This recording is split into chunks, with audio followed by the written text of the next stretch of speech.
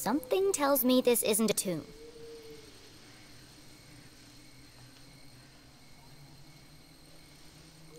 Okay, so let's continue on. Uh, actually, should we? We didn't. we didn't even check out the ladder.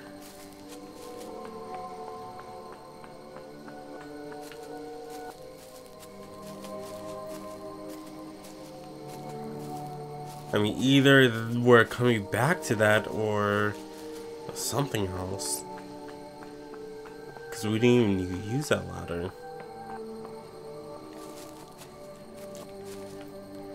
Uh, it's not, not even able to, to check out, so either I missed it or we're coming back to it from the other side or from the top.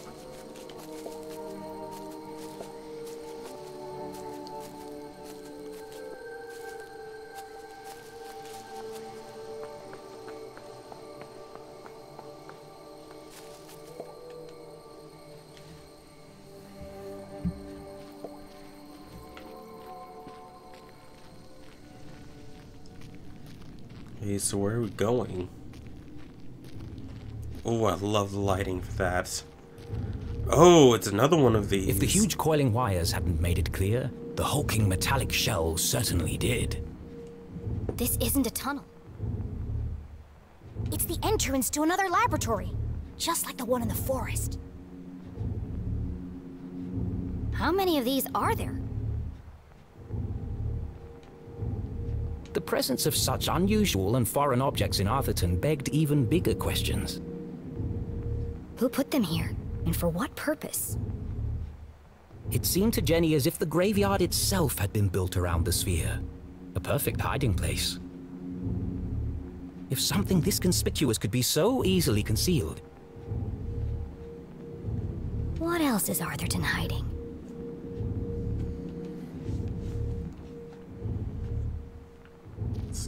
Let's check and see. Sounds like a heartbeat.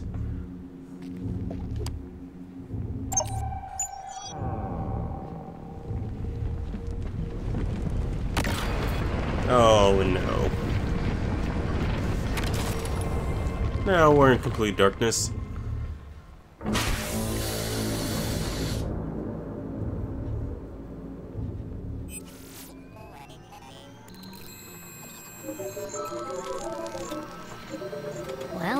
We know it's working. As a dozen intricate machines whirred to life, Jenny noticed a remarkable resemblance she had overlooked before. Some of this equipment looks like the stuff in Susie's lab. Huh. Can't believe I missed it before. That girl owes me some answers. How about you talk to her now? You have the radio. Speaking of radio. Another radio. Maybe these are used to communicate between laboratories. It was a hunch, but if it were true, Whoever's transmitting the message could be in another sphere somewhere in town.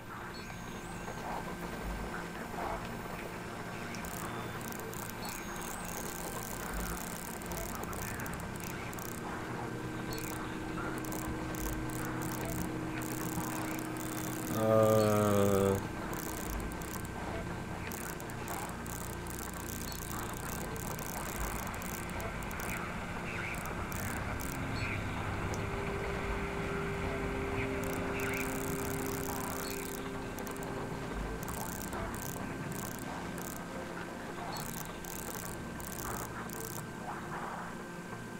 There.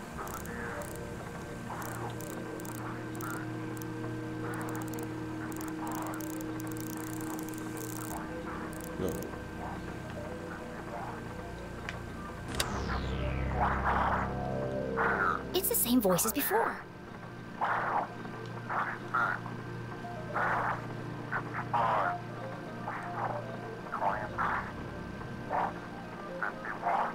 This code was different from the last. Just as strange, though. Jenny carefully transcribed the words into her journal. Let's see what the hawk and the weasel have to say about this. Oh, kept book? Okay. Okay, so bear, wolf, sheep. Okay, so bear. Bear 39. Okay, so it'd be purge. Rabbit 60. Only.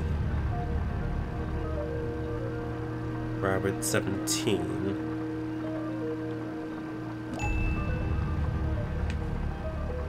Uh, Weasel. Uh, Weasel 56. Should be Silence. Hawk 41.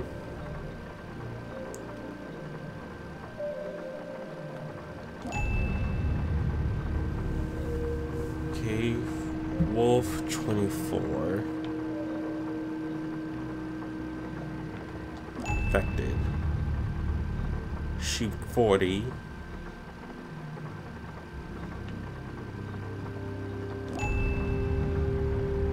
Wolf 26.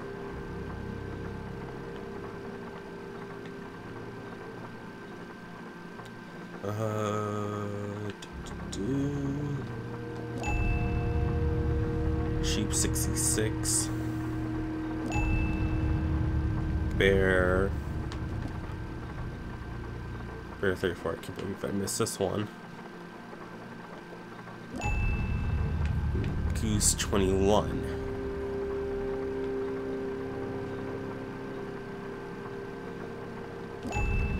Purge infected, soon only death. Forever silenced, despair herself is near. This message, as sinister as the last, sent Jenny's analytical mind into overdrive. Is the man in black sending these messages?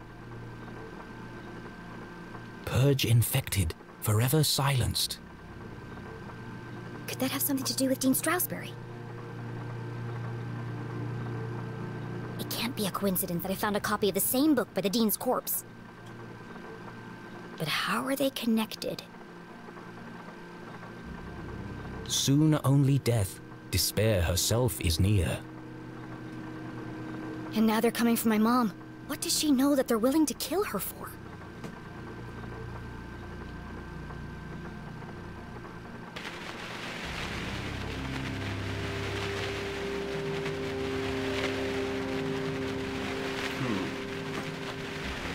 I don't know, man. Just seems kind of crazy. This contraption was new to Jenny, but something about it caught her eye. A large metallic slab with a distinctive indentation carved into its surface. That shape. Where have I seen it before? The Dean's ring! Do you still have it? Oh yeah. Uh.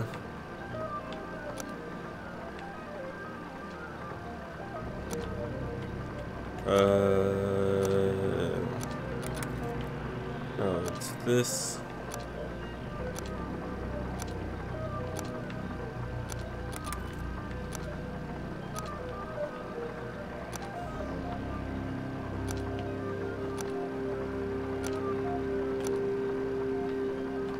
Admirable. Place the ring in, then turn it. With the ring still on your finger. It fits. In fact, it fit perfectly into the slot, as though it were made for it. Hmm. Uh, so should we turn or or, or flip the switch? We could do that. Doesn't seem to be working. Probably just a loose connection somewhere.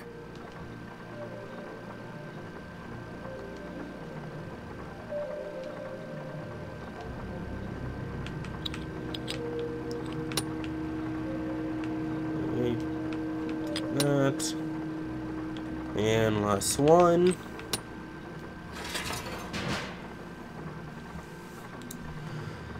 Jenny Okay. knew that the best way to fix anything electronic was.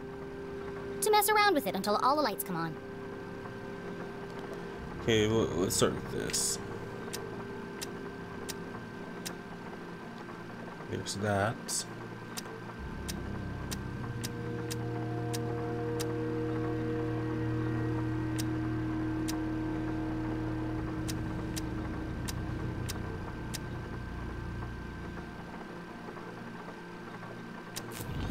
There we go. If being a great detective didn't work out, Jenny had a promising career in machine repair to fall back on.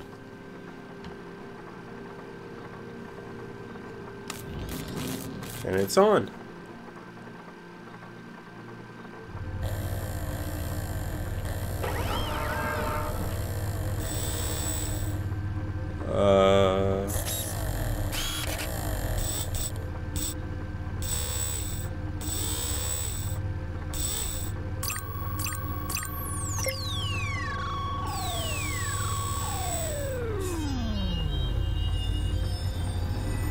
Excuse me. Excuse me. Oh,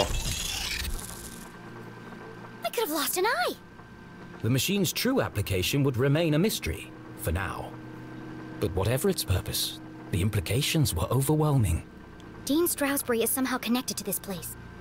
Had the Dean been aware of the secret hiding within his ring? Whether he knew or not, it's likely he was killed because of it. Oof. You see this? What is it? Hidden amongst a web of cables, the average eye would have missed it. But Jenny LeClue was a great detective. There's a book pinned beneath that cable.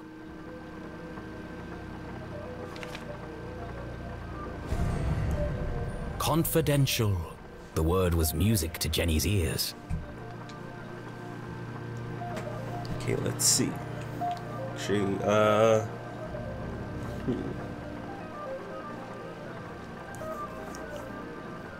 Hmm. Uh, S L E C D. Um, I don't know. Uh, entry one. At last, today we begin Project Excelsior, thanks to our wonderful benefactors. Standing inside my lab, it's exactly as I had hoped. Perfectly conce- uh, concealed, it's a real thing of beauty. I call it the Zazer Sphere. And I don't think it's pretentious to name it after myself, but let's see him design a geo a geodesic structure that can withstand that can uh, withstand such an incredible external forces. It looks like what withstand with and, and or with two separate words. Whatever we call it, we'll finally be able to study and harness the power of Arthur Arthurton's greatest resources. Side note, Nigel keeps mispronouncing my name. I swear he, he he's doing it on purpose. It's Professor Zazer, like laser with a Z. How's that hard? Who are the Council of Three? Hope the money doesn't dry up. Alright, uh... B equals 27... That, uh... Reminder, laundromat? Buy new laundry, new underwear. Zazer. Jenny recognized the name, but couldn't put her finger on where she'd heard it before.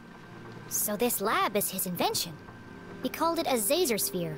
Well, at least I've got a name. Okay. Uh,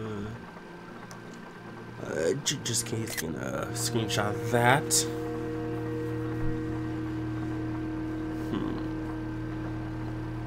Never know when those uh those B's and X will be important. These machines were built to study and harness the power of Arthurton's greatest resource. They were experimenting on the town itself.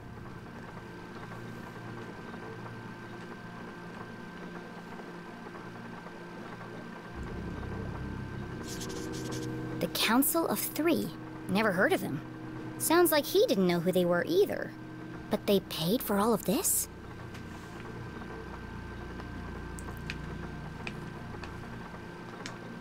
I feel like there would be something around here. Maybe invisible ink? Torn pages? Hmm.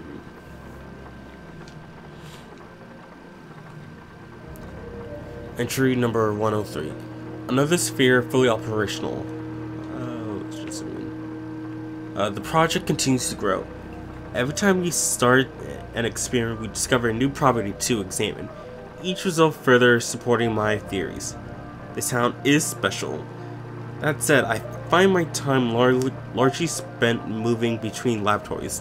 I'm tired of managing. Uh, I want to get my hands dirty.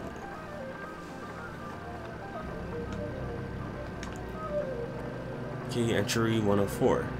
New lab idea. Toying with the designs for a newer, much more ambitious, larger facility. My calculations are correct. It should be capable of up to 1200% output capacity. This could propel us to a whole new world of possibility. Reminder, ask Mr. Gray again for face-to-face with management. Are they avoiding me? Starting to wonder if they even exist. Strange. Ask around. No one has met them. Who are they? Who are they? Okay, so let's start with here. So we got a bunch of basic coordinates.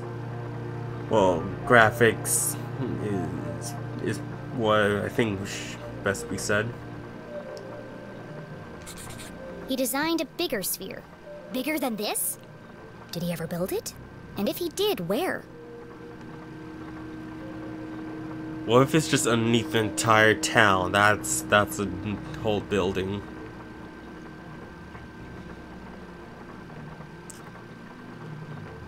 Hmm. Nothing else. Okay, entry number 288. Terrible setback. Spotted an anomaly in the Badger experiment too late. Of course, Mr. Gray and Mr. Blue showed up in just in time to witness the explosion. Plasma everywhere. All units lost. Mr. Blue nearly lost an eye. Now looking forward to debriefing on Friday. This is going to set us back days, no weeks. Entry number 289. Days are blurring together. Every experiment brings us close to unlocking the seemingly impossible, but the number of strange incidents at the labs continues to grow. Who keeps stealing my pens? Entry number 297. More setbacks. More unwelcome interruptions. Exhaustions plus rush schedule equal dangerous conditions. Why did they insist me we run the new test this weekend? It's just not ready. We need to enhance security protocols to be and be vigilant to avoid any more contaminations or accidents. So to think that they aren't in this for the right reasons. Someone followed me home again last night. Who are they? Council 3. Acknowledge ignorant, order, control, or self destruction. Progress to corruption. Wow, just. Mmm. There was a badger on the door to get into this lab. So this must be the experiment he was talking about. Maybe. Or it could be something else. Uh, I really want to know who still keeps stealing the pens. I want to know who keeps stealing the pens. Exhaustion, rushed schedule, dangerous conditions. The parallels with her father's own working conditions were distressingly clear. So what if this was made by Jenny's father? I mean, we don't know. Could be.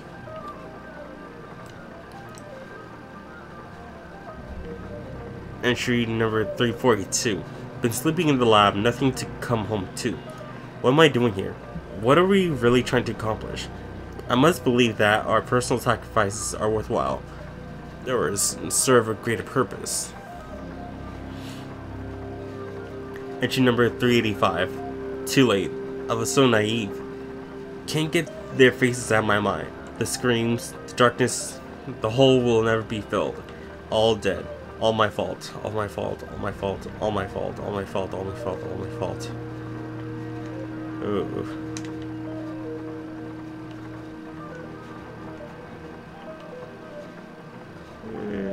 And that's more than 40 entries later.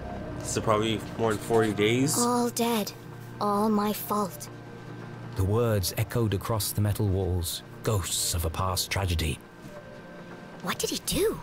He must have been terrible.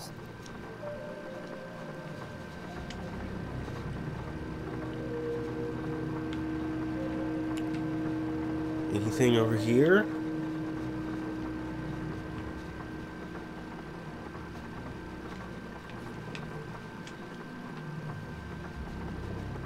Entry 621. What bittersweet feeling. After seven years, we finally, we're finally getting stable, repeatable results. But the, co but the cost has been great. The output ratio is incredible, but we've all, but we're only just beginning to unlock the potential. The right hands, this could change the world. The new lab is nearly operational, but I'm not sure we are. As always, they'll push too far, but full output will take years. Perhaps there's still time to make amends for what happened. Safety is top priority. People is greater than progress. Okay, so each entry is not an individual day. So it's been seven years, basically since the beginning of the writing. This entry is from much later. There are lots of pages missing. It seems that whatever happened before, he carried on his work long after. As is the case in all Tangled Mysteries, every new piece of evidence raised more questions than it answered. But she now knew the purpose of this Zazer sphere and the name of the people who had built it. The Council of Three. It wasn't much to go on, but it was a start. What's this? Another hmm. blank scrap of paper. Let's do it.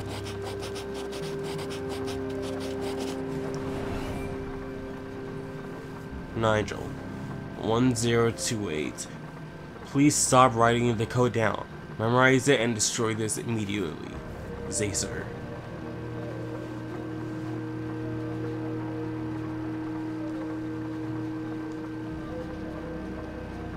Guessing it goes to this. Please enter authorization code to begin.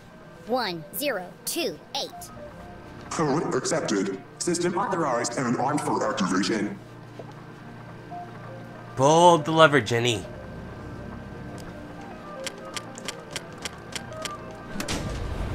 Here we go. Preparing to run experiment 12, cycle 78. Sphere hermetically sealed. Magnetic transducer coils charging. Uh, Accumulating voltaic cells. Commencing experiment 12-91.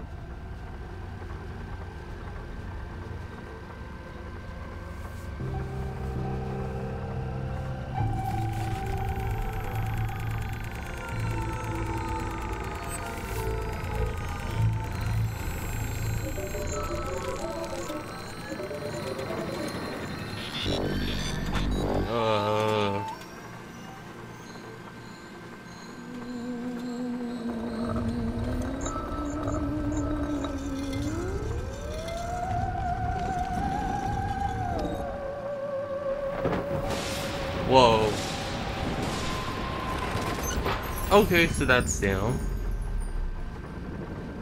Radioactive safety margins cleared.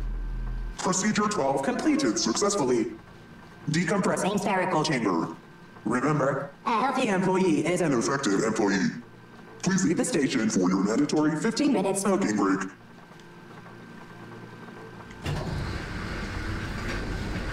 And we should get out. I wonder what it did. At least I wasn't covered in plasma. Alright, so let's quickly get out of here and head to that uh, ladder.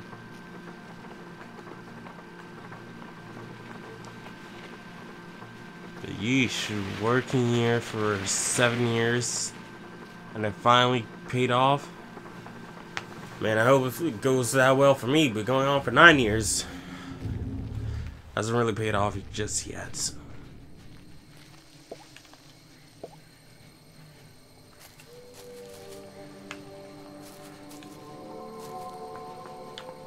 Actually, Something's pushing against the stone. It looks like it could collapse at any minute. Hmm.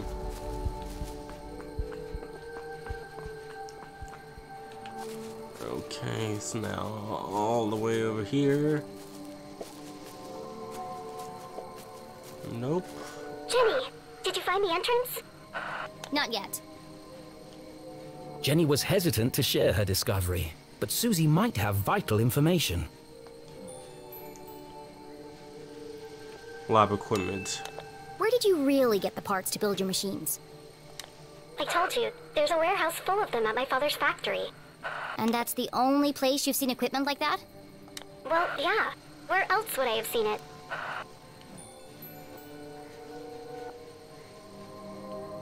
I'm not trusting her. Good question. I I have to go. Keep out of sight and let me know if you see anyone. I will. Good luck, Jenny. But it could be that, you know, she might consider these locations as the factory.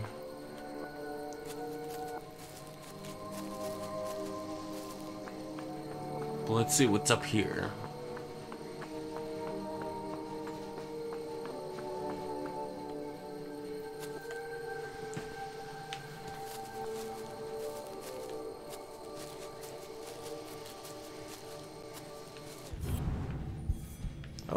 Right here.